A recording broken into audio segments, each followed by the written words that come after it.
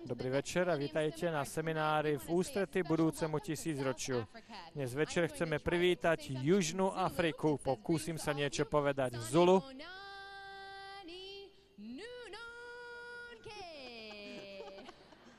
Takže vítajte všetci v jazyku Zulu. Tak, to bolo nádherné. Takže Bernie, si na rade ty. Takže ja sa pokúsim po afrikánsky. Amul in South Africa, welcome. So, uh, there, there you have it, South Africa. Takže privítali sme ľudí, máme tu mnoho ľudí, ktorí sú z tejto oblasti, študenti, takže tu sú ľudia z Južnej Afriky, ktorí chcú pozdraviť svoju domovinu. Takže pozdrav do Južnej Afriky. A nezabudnite, vážení, že v Severnej Amerike v piatok a v sobotu večer pre Európu bude ďalší veľký hudobník a spevokol, ktorý bude spievať. A huslista Leroy Pedersen, ktorý nám zahrá na husle. A Nikolas Zork a Veruška Valenzuelová zaspievajú dnes večer spolu čelolistom. Tu pieseň sami napísali, Nikolas napísal hudbu a napísali pieseň Nie je to obyčajný človek. lying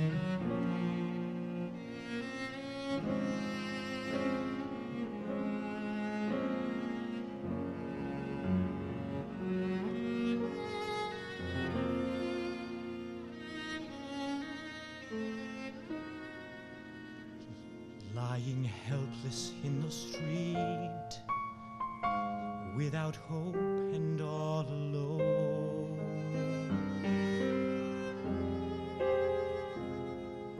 A man walked up to me, and I could see he felt my sadness like his own. And he reached out to me and softly said, You're healed, and I could stand.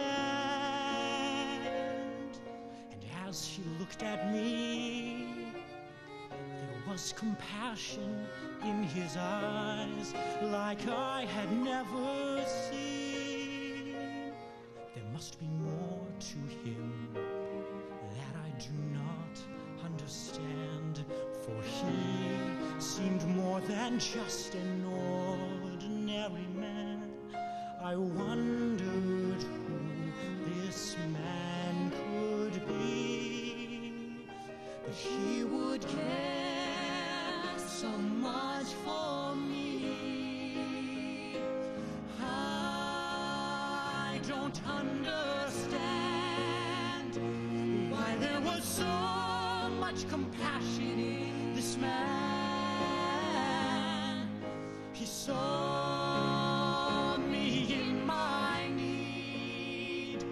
He reached out his healing hand to me.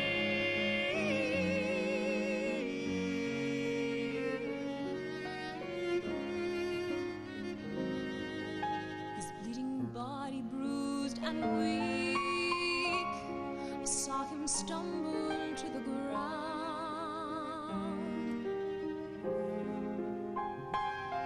Trembling, he tried to stand amidst the angry voices in the crowd.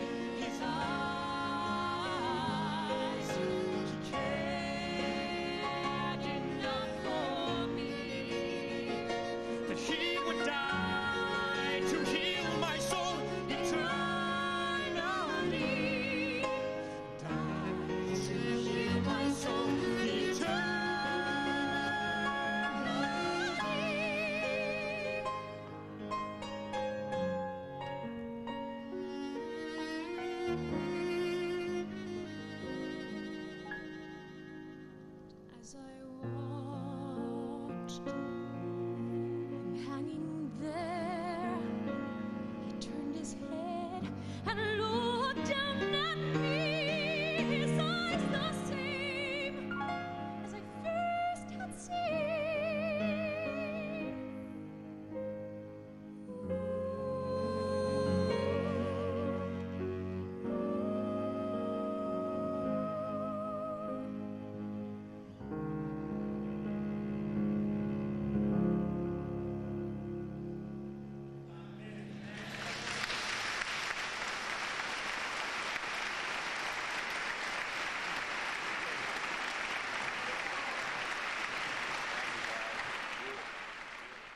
Nádherné, bolo to nádherné, hovorí Dwight. Nebol to obyčajný človek. Vieruška Valenzuelová a Nikolas Zork. To bolo nádherné. No. Nebol to obyčajný človek.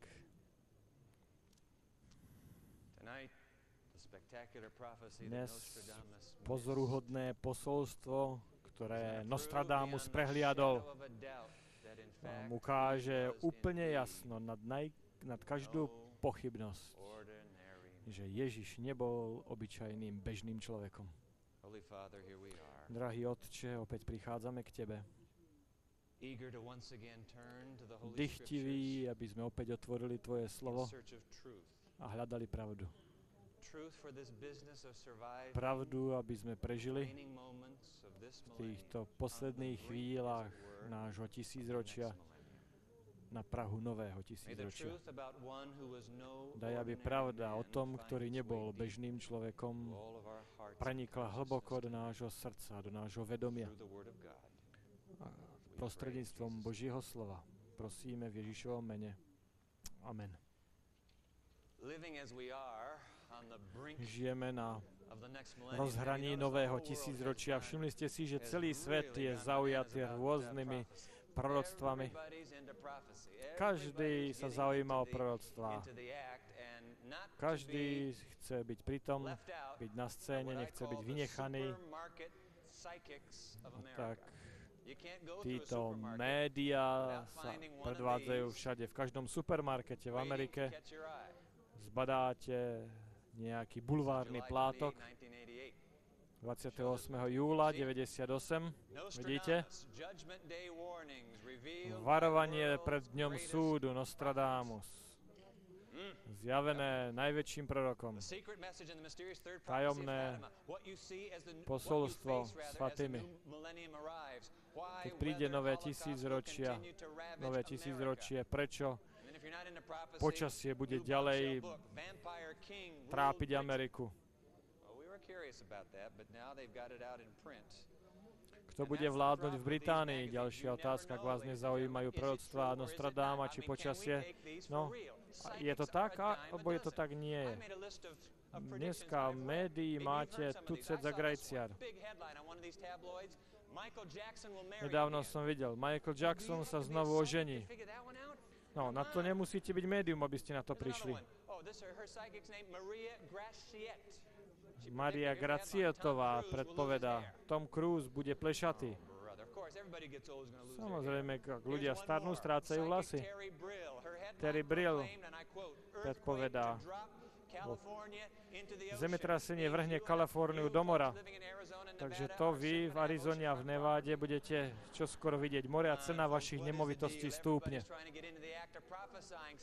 Každý sa chce zapojiť do predpovedania budúcnosti. Všade po planéte pribúda rôznych médií, prorokov. Ale snad najznámejší je ten, o ktorom budeme hovoriť dnes večer. 400 rokov je už mŕtvy. Je to francúzsky lekár, ktorého meno znamená naša pani, či, čo je označenie Ježíša Krista, čo je meno známej univerzity, len pol hodiny vzdialenej od nášho miesta Notre Dame, Notre Damská univerzita. Michael de Nostradam sa narodil a pôsobil ako lekár v mestečku Saint-Remy na juhu Francúzsko. Bol malej postavy, energického vystupovania, tmavú bradu, bol láskavý, známy svojou štedrosťou, dával dary chudobným, s odvahou a súcitou slúžil neohrozenie vo francúzských mestách, ktoré boli postihnuté Dimejovým morom ale známy sa nestal ako lekár, ale skôr ako médium.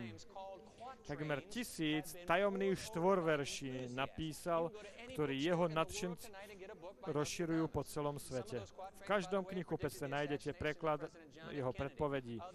Niektorí tvrdia, že predpovedal zastrelenie, zavraždenie prezidenta Johna Kennedyho alebo letné búrky v roku 1996. Akým spôsobom príjmal tieto proroctvá? Sedel sám v tmavej izbe v noci a díval sa do nádoby, do vody v nádobe, ktorá vysela na trojnožke. Paličkou sa vody dotýkal, navlhčil si rúchov a tak dlho hľadil na povrch vody, až jeho oči začali vidieť budúce udalosti, ktoré tam boli načrtnuté. Niekedy dokonca vraj počul hlas. Splnili sa jeho proroctvá? Väčšina z nich sa nesplnila.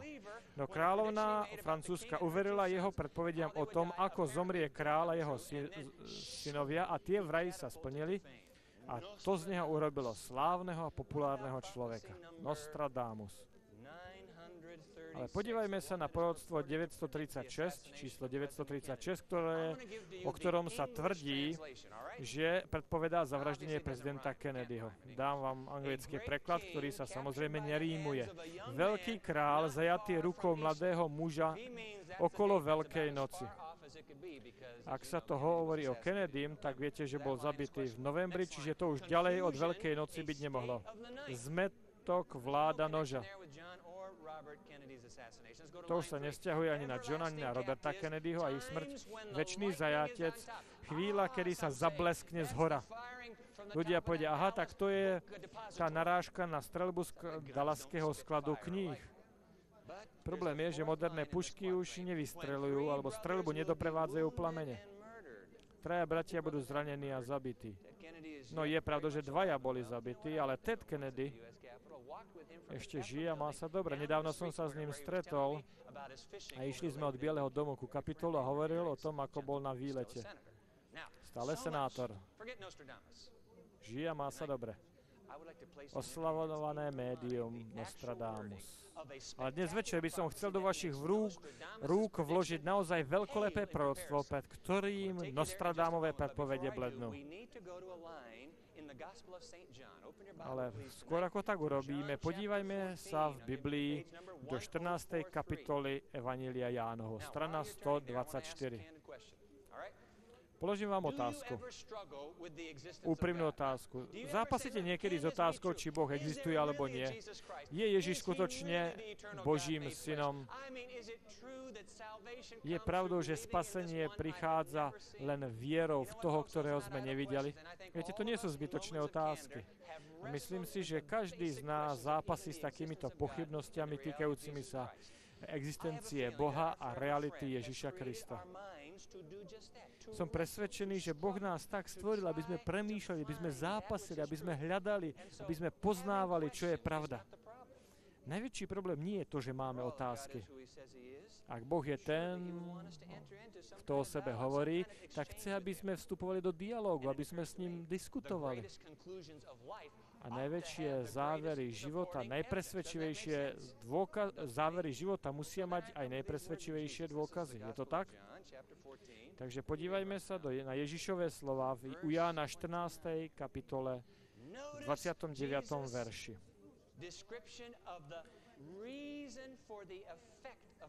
Ježiš tu hovorí, prečo bolo dané proroctvo. Ján 14.29, strana 124. Povedal som vám to teraz, prv ako sa stane, aby, aby čo? Aby ste uverili. Ježiš hovorí, ja vám to hovorím. Skôr, než sa to stane, pretože až sa to stane, tak si budete z toho úplne vykolajení a nič z vás nespraví veriacem rýchlejšie, než keď vám niečo povie kto si, čo, že sa to stane dopredu. čo z ľudského pohľadu, pohľadu nie je. možné, aby sa stalo. Povedal som vám to teraz, prv ako sa stane, aby ste uverili, keď sa to stane. To vám prinesie dôveru, istotu, pocit istoty.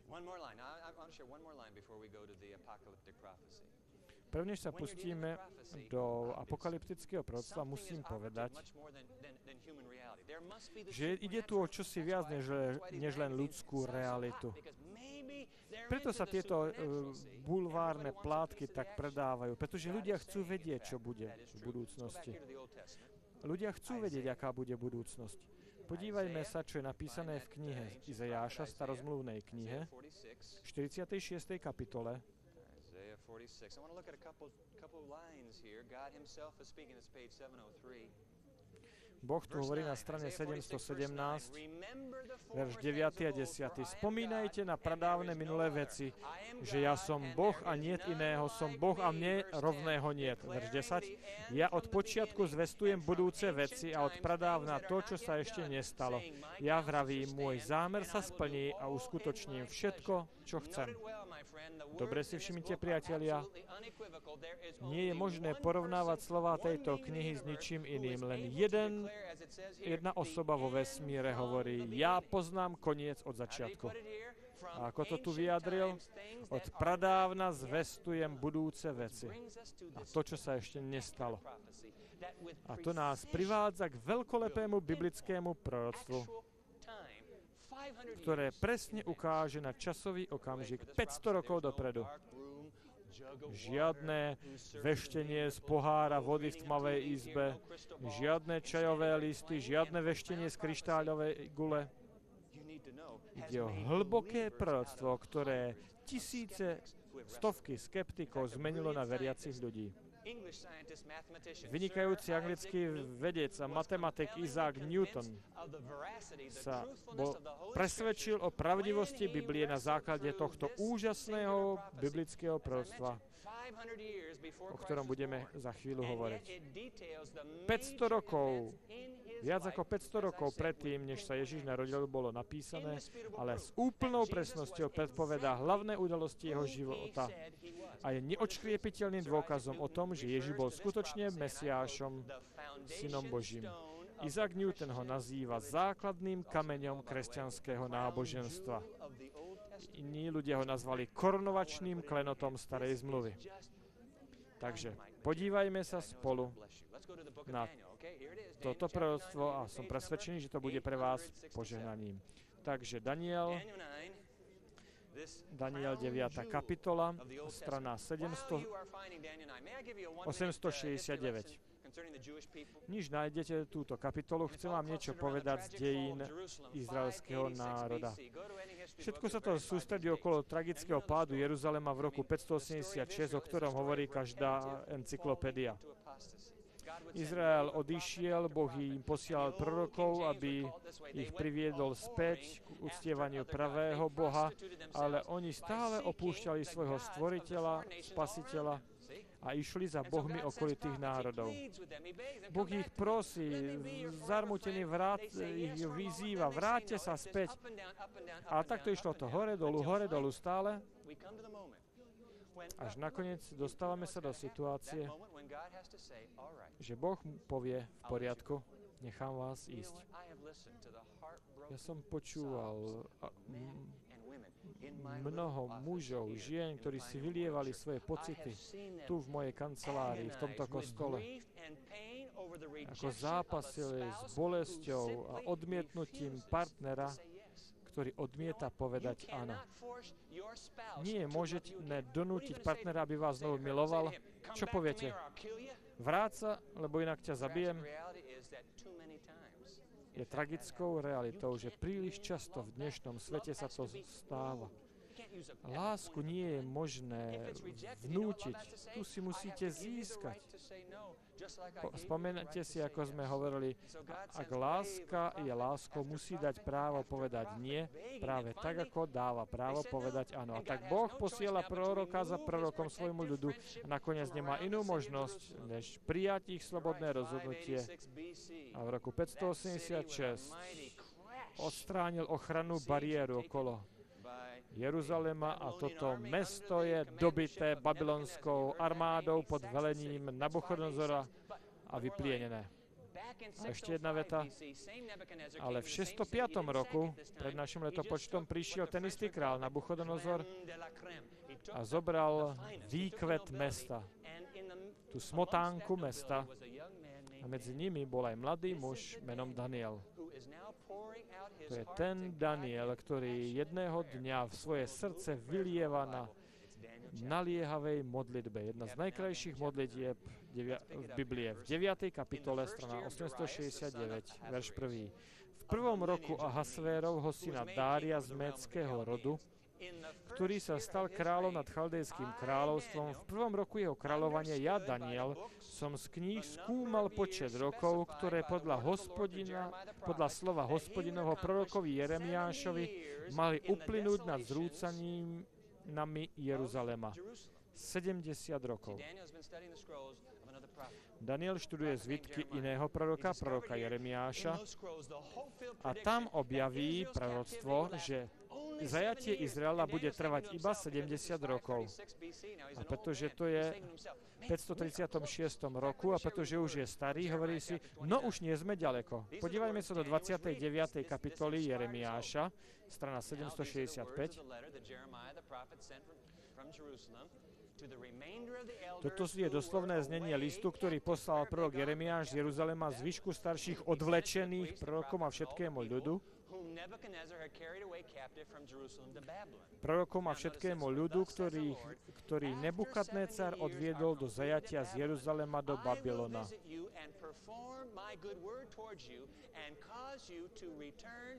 Verš 10. Lebo takto hovorí hospodin, keď sa doplní 70 rokov pre Babylóniu, navštívim vás, splním pri vás svoje zaslúbenie a navrátim vás späť na toto miesto. Daniel sa pýta, kedy sa to stane, kedy to príde. A tak Daniel vylieva pred Bohom svoje srdce. Nemáme teraz času ju čítať, tak ju preskočím a poďme na koniec modlitby a podívajme sa na verše 18 a 19, to je strana 870. 18. verš. Daniel sa modlí.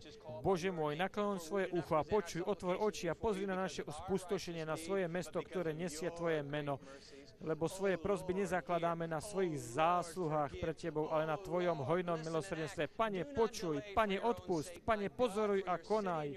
Nie kvôli sebe, kvôli sebe samému. Nemeškaj, Bože môj, lebo Tvoje mesto i Tvoj ľud nesú Tvoje meno. Prosím, spomeň si na nás, hovorí Daniel, a osloboď nás a pošli nás domov. Aká nádherná ilustrácia toho, čo zmôže modlitba. Verš 20. Kým som ešte hovoril, modlil som sa, vyznával svoj hriech i hriech svojho izraelského ľudu a predkladal som hospodinovi svojmu Bohu prozbu za svetý vrch svojho Boha, kým som ešte hovoril svoju modlitbu. Muž Gabriel, ktorého som videl na začiatku vo videní, priletel ku mne, dotkol sa ma v čase večernej obete. Čiže asi o 3. popoludní, 15. hodine, pristúpil a hovoril so mnou a povedal, Daniel, teraz som vyšiel, aby som ti dal plné poznanie. Keď si sa začal modliť, zaznelo Božie slovo. Boh mu hovorí, choď a pomôž Danielovi. A ja som prišiel, aby som ti ho oznámil, lebo si obľúbený a vzácny. Preto poz- daj pozor na slovo a pochop videnie. Prichádza aniel, nádherný moment v písme. Keď Lucifer padol, niekto ho nahradil v jeho postavení a zrejme to bol Gabriel, pretože sám Gabriel prichádza na tento svet, aby vysvetlil túžbu Danielovho srdca. A tu začína verš 24. To je ako di- doktorská dizertácia. Tu na, na univerzite každú chvíľu píšu. Najprv sa v dizertácii všetko vysvetlí, čo sa bude preberať, rozoberať a potom to musíte bod po bode dokázať. A teraz prichádza to proroctvo.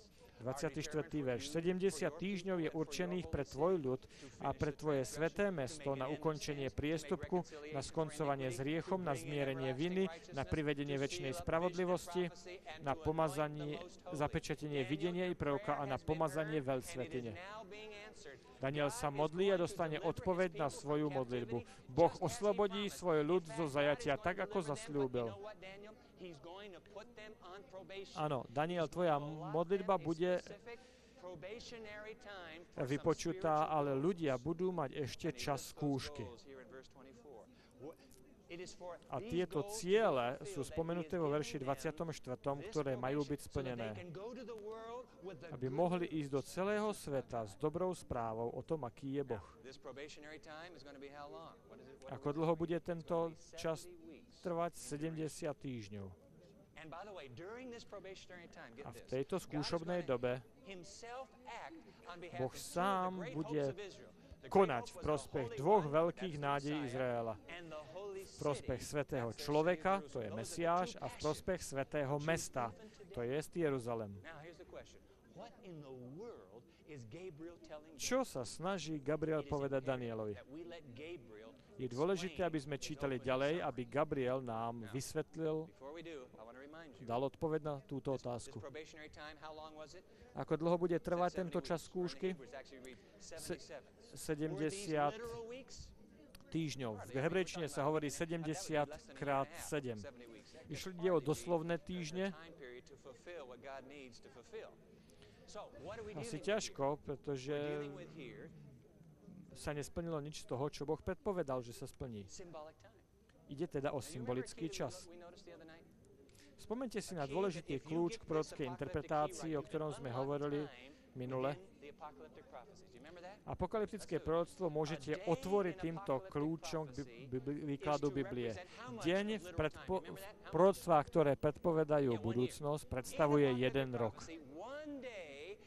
V biblickom proroctve jeden deň predstavuje jeden rok. A tento významný kľúč príjmajú vykladači Biblie v priebehu kresťanstva. 70 židovských učencov v dobe pred našim letopočtom prekladali hebrejskú starú zmluvu do gréčtiny. A keď, viete, ako preložili 70 týždňov? Oni to preložili ako 70 týždňov rokov. 70 týždňov rokov. Keď americký preklad Bible Revised Standard Version v 50. rokoch bol prekladaný, tiež prekladá ako 70 týždňov, ktoré sú rokami. Čo má aj ekumenický český preklad. Je jasné, že je to symbolický čas. 70 krát 7 teda znamená 490 dní, ale to znamená teda 490 rokov. V priebehu storočí známi vykladači Biblie to vykladali takýmto spôsobom, to nie je 490 skutočných dní, Jeronym v 3. storočí, Augustín v 5., Luther v 16. Mnohí ľudia si uvedomili, že predsa to nemôže byť 70 skutočných týždňov, to je rok a pol. Čo sa stane za týchto 490 rokov skúšky? Čítajme verše 25 až 27 strana 871. Preto vec a cháp, odvtedy, čo vyšlo slovo o návrate a o vybudovaní Jeruzaléma, až po pomazanie kniežaťa bude 7 týždňov. Za 62 týždňov opäť bude vybudovaný s námestím a ulicami, aj keď v čase útrap. Po 62 týždňoch bude zabitý, pomazaný a nebude ho. Mesto a svetiňu zničí ľud kniežaťa, ktorý príde. Ich koniec nastane záplavou, až do konca vojny bude trvať predurčené pustošenie. Uzavrie pevnú zmluvu s mnohými na jeden týždeň, na pol tý- v prostred týždňa zastaví zábytnú a pokrmovú obeď a na kraj oltára príde ohavné spustošenie až po stanovený koniec, ktorý príde, ktorým sa završí spustošenie. To je ťažký jazyk, takže o čom je tú náreč. Nie je to až také zložité, ako sa to môže zdať. Ale prvnež sa podívame na neuveriteľne presné naplnenie tohto časového proroctva, všimnime si, že sa tu hovorí o svetom človeku, o Mesiášovi a o svetom meste. Čiže svet, ten svetý, ten svetý príde a čo sa hovorí v verši 25. o svetom meste, že bude znovu vybudované. Čo sa hovorí o Mesiášovi, že bude vyťatý, čo sa stane s mestom, bude zničené. Verš 27. Spôsobí koniec obetí, Mesiáš, a mesto Jeruzalem bude zničené, spustošené. Daniel počúva Gabrielov opis týchto predpovedí a zápasy. Čo to má znamenať? Kedy sa to začne? Kedy sa to stane? Kedy sa to splní? Gabriel dáva odpoveď vo verši 25. Vec a pochop, odvtedy, čo vyjde slovo o návrate a vybudovaní Jeruzalema až po pomazanie kniežaťa, Mesiáša, bude 7 týždňov a 62 týždňov. Zastavme sa tu. Dajme si to do nákresu, aby sme jasnejšie tomu rozumeli. Krásna animácia našich grafikov. Od toho času, keď vyjde slovo navrátiť Jeruzalém a navrátiť Izraela a vybudovať Jeruzalém, bude 7 a 62 týždňov, to je 69 týždňov, čiže 480 rokov. 483 rokov. Ak zistíme, kedy začal byť Jeruzalém budovaný, tak to ľahko spočítame, kedy príde Mesiáš. Podívajme sa do knihy Ezdráša. Tam sa hovorí o tom, že bude vybudovaný Jeruzalém v 7. 7. kapitole verš 13. až 26. 7. kapitola. V týchto udalostiach za kráľovania perského kráľa Artaxesa Ezdráš, syn Seraju, syn Azariu,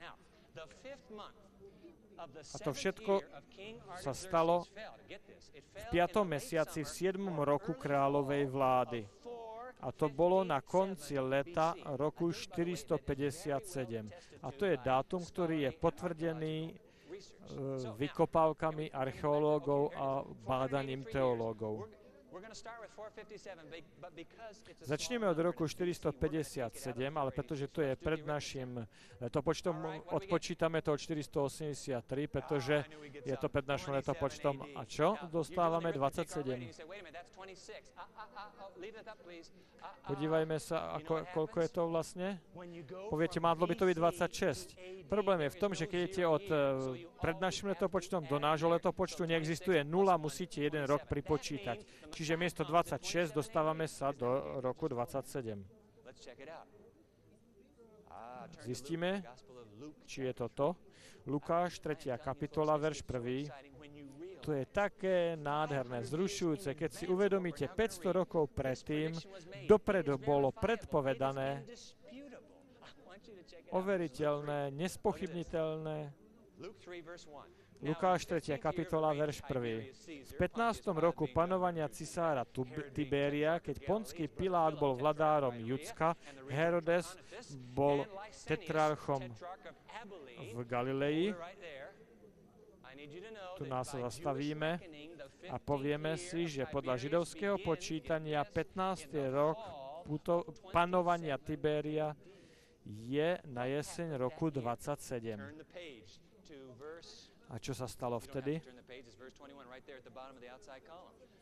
Verš 21.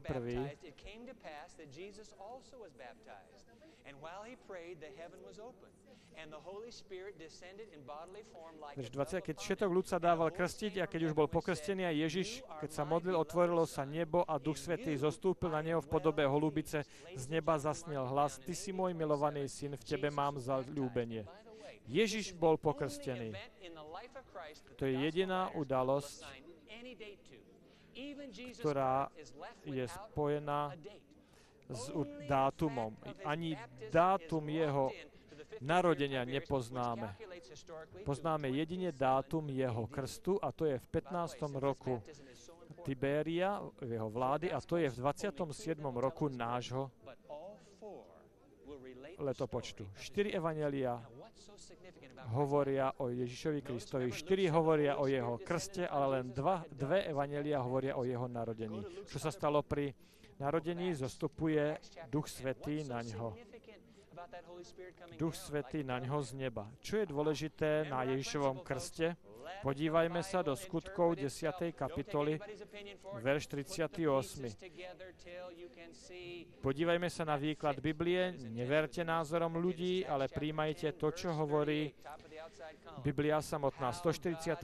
strana, 10.38. Viete o Ježišovi z Nazareta, ktorého Boh pomazal Duchom Svetým a mocou, takže chodil, dobre robil a liečil všetkých diablom posadnutých, pretože Boh bol s ním. V 27. roku sa deje čo? Kristus je pokrstený.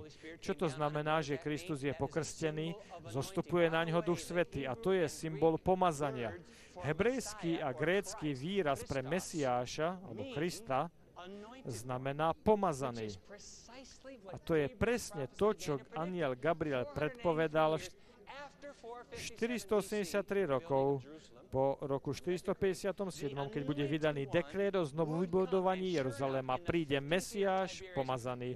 A presne tak, v 15. roku vlády cisára Tiberia Ježiš presne je pomazaný pre svoje mesiášske poslanie. 27. rok po Kristu, presný zásah. A to vysvetľuje Ježišové slova, keď Ježiš začal kázať, Marek 1. kapitola, verš 15. Marek 1, 15. Keď Ježiš, keď Jana uväznili, prišiel Ježiš do Galilei a hlásal Božie evanelium, vravel, naplnil sa čas, priblížilo sa kráľovstvo Božie, kajajte sa a verte v evanelium. Strana 41. Aký čas sa naplní? O čom hovorí Ježiš? čas veľkého proroctva z 9. kapitoly Daniela, ktoré Nostradamus prehliadol. Ježiš hovorí, ja som prišiel presne v čas. Ja som prišiel od kráľa vesmíru. Poslal ma sám Otec. Kajajte sa a verte v Evangelium.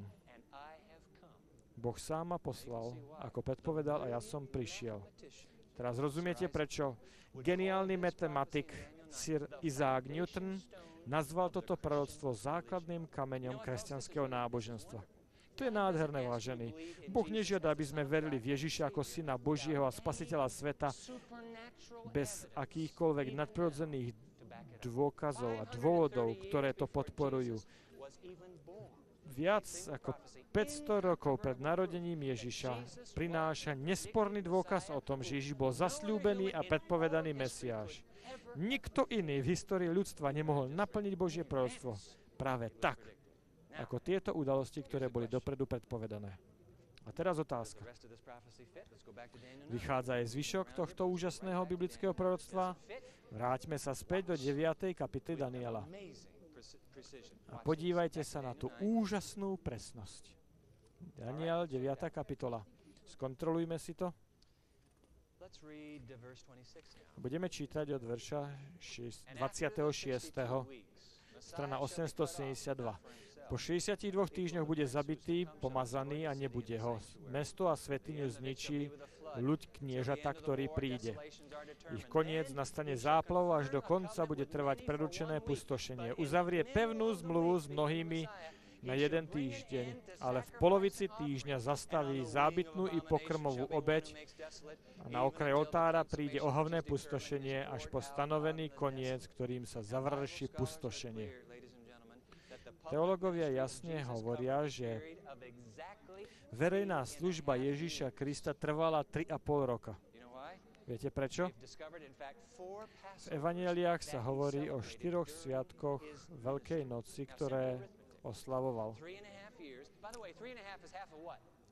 3,5 roka je polovička zo, sedm, zo siedmých. Uprostred týždňa sa niečo stane.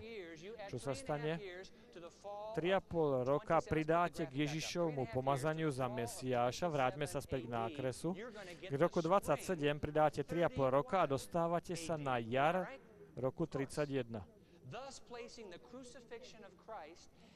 A to znamená, že Ježiš Kristus bol ukrižovaný na jar roku 31 presne podľa toho, ako to predpovedal aniel Gabriel pred 500 rokmi, že pomazaný bude vyťatý a ukončí tým obete. Podívajme sa do Matúšovho evanielia, či Ježišová smrť zastavila obete. Už sme v otázkach pred začiatím prednášky o tom hovorili. Matúš 27, verš 50 a 51, strana 39. Matúš 27, čo sa stalo na Veľký piatok. To bolo na Veľký piatok, verš 50.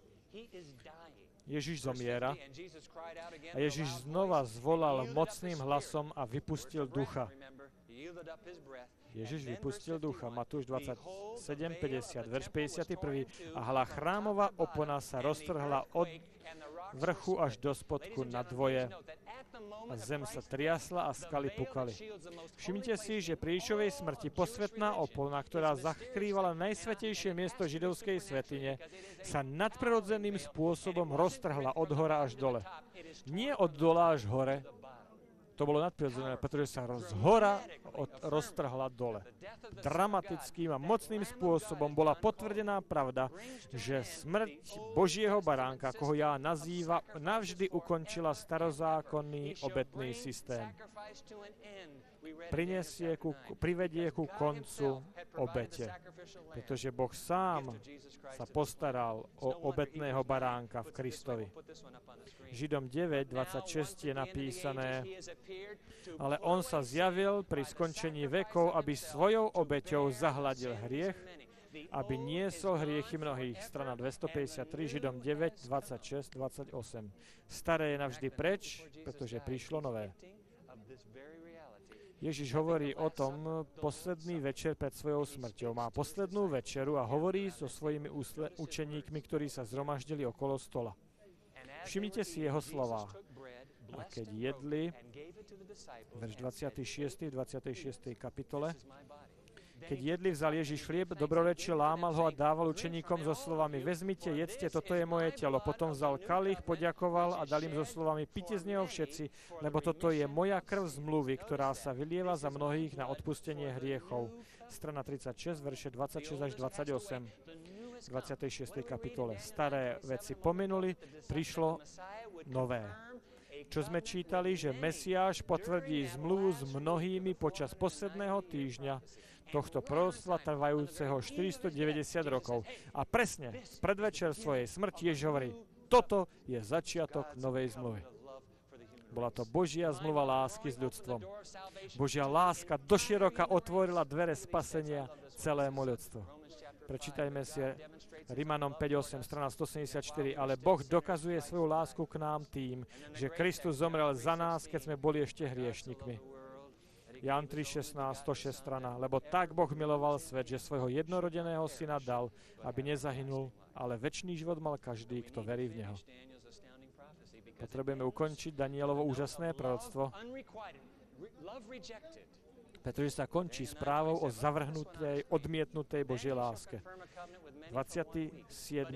verš hovorí, uzavrie zmluvu s mnohými a v prostred týždňa zastaví zábytnú a pokrmovú obeď, ale až po okraj oltára príde ohavné pustošenie až po určený stanovený koniec, ktorý príde, ktorým sa završí pustošenie. Podívajme sa, aký to bol koniec. 3,5 roka pridáme na nákrese a dostávame sa kam? Dostávame sa do, na jar roku 34. Čo sa stalo v roku 34? To je ten tragický moment, keď Boh ešte 3,5 roka po smrti a zavrhnutí Ježiša Krista túži potom. Božia láska stále apeluje na tento národ. Dajte mi možnosť, ja vás mám rád, dajte mi príležitosť. Ale keď Synhedrin odmietne kresťanského učiteľa Štefana a urobí z neho prvého mučeníka. Prorocké hodiny odbili. Boh príjima slobodné rozhodnutie národa. Hovorí, príjma rozhodnutie, ktorý mu hovoria nie. A tým sa to skončilo. Ešte to neznamená, že Židom Boh povedal nie. Tak ako ži- a pohanom nepovedal nie, ako ľuďom nepovedal nie. Pokiaľ naše srdce bije, Božie srdce, Božie, Boh klope na naše srdce a pozýva nás, príjmite moju ponuku a moje priateľstvo. Ale ako národ, národ skončila, skončili prednosti a Boh ponúka spasenie celej planete. Dámy a páni, nespornou pravdou tohto úžasného Božieho proroctva je, že Ježiš Kristus bol presne tým, kým tvrdil, že je Boží syn a spasiteľ sveta. Prišiel presne včas, zomrel na čas a teraz žije na veky vekov s úžasnou trvalou túžbou zachrániť nielen Izrael, ale celé ľudstvo, celú civilizáciu. Ale skôr, ako uzavrieme túto knihu a neuveriteľné proroctvo, musím vám otvorene povedať, že je tu ešte niečo, čo sa týka Izraela a služby vo svetini. Veľmi rýchlo, keď máme čísla tu, môžeme si to spočítať. A ten text dokazuje, že dnes žijeme v oveľa oveľa neskôr, než si mnohí myslíte. Keď sa oto obrátite jednu stranu do 8. kapitoly, v 8. kapitole, a to je jedno proroctvo, vlastne 8. a 9. kapitola, strana 869, týmto ukončíme. 8. kapitola, prečítajme verš 14. Až prejde 2300 večerov a rán, potom svetiňa bude opäť uvedená do správneho stavu.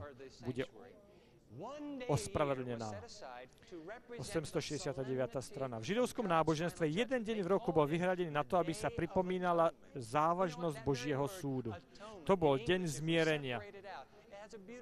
V angličtine, v angličtine zmierenie na, znamená navodenie zjednotenia. U nás môžeme povedať, že tam počujete slovo mier, navodenie pokoja. V 3. Možišovej v 16. kapitole sa hovorí o dni zmierenia. Bol to deň spoločného očisťovania, keď symbolicky boli zmité hriechy celého spoločenstva. Všetci boli očistení. Všetci mohli počuť, vy ste čistí. Všetci skúmali svoje srdce, či vyznali všetko.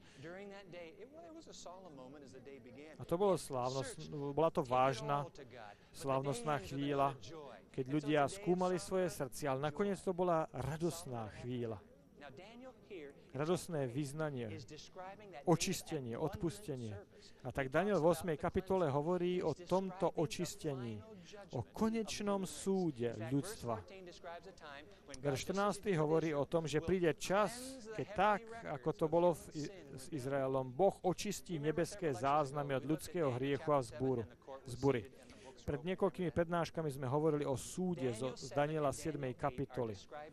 Daniel 8. kapitola 14. verš popisujú tú istú udalosť. Ale symbol je tu na svetiňa, ktorá bude očistená. Prečo vám to hovorím? Poviem vám prečo.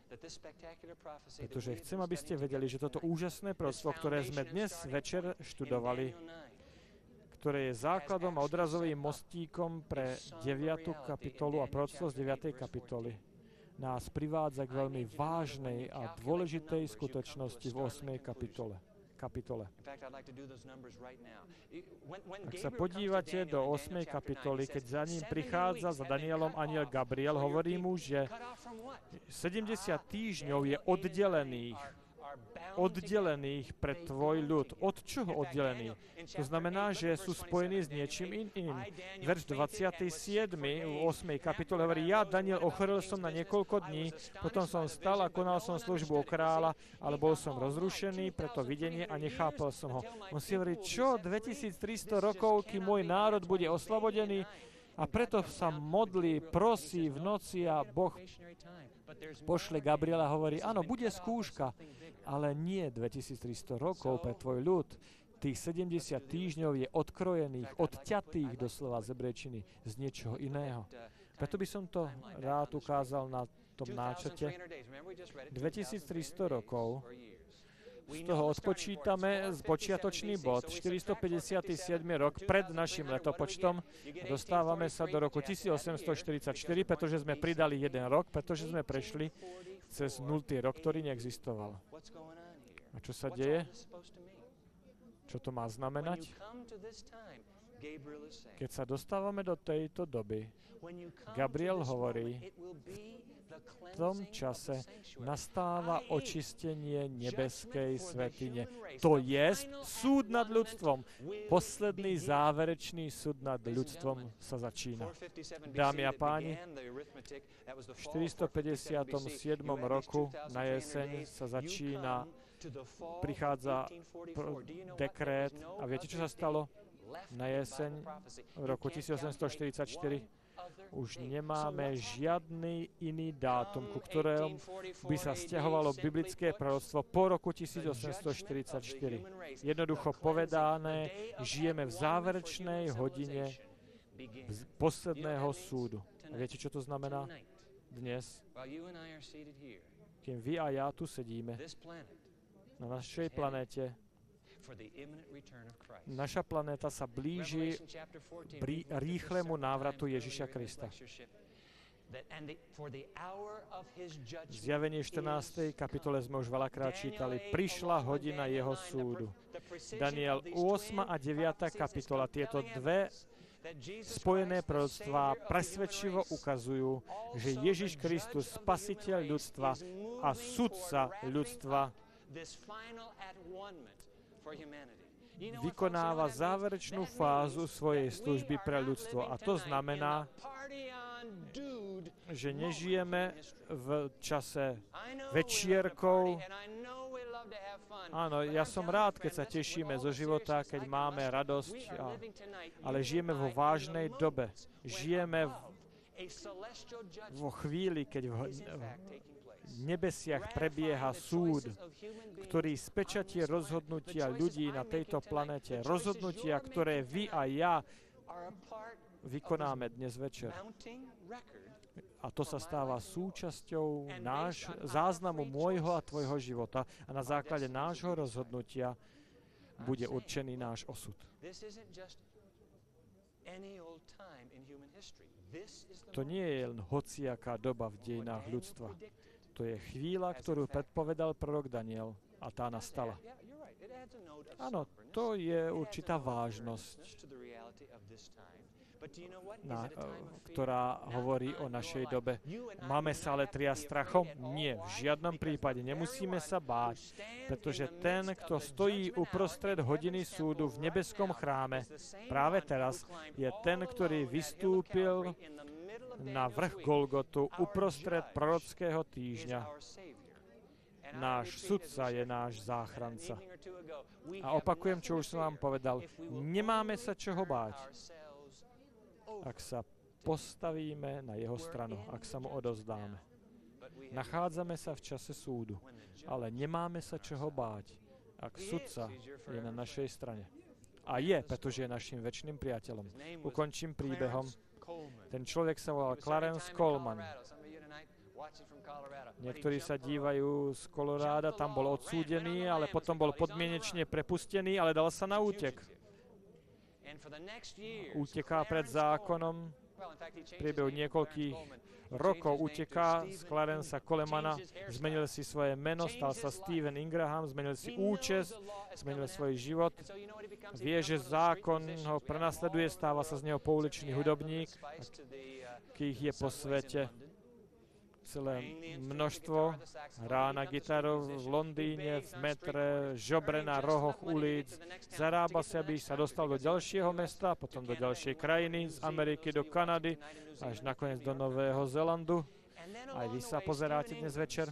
Až nakoniec Steve Ingraham, is či správne by sme mali povedať Clarence Coleman, in je znepokojovaný svojim svedomím, obťažovaný svojou vinou, žije strachu z polície. In Kto ho zase chytí? this 27-year-old A má taký strach, že tento goes for four 27-ročný years mladý muž even 4 roky ani in nezavolal svojich rodičov, ktorí žili v Koloráde, v štáte Koloráde. Oni si mysleli, že zomrel. in.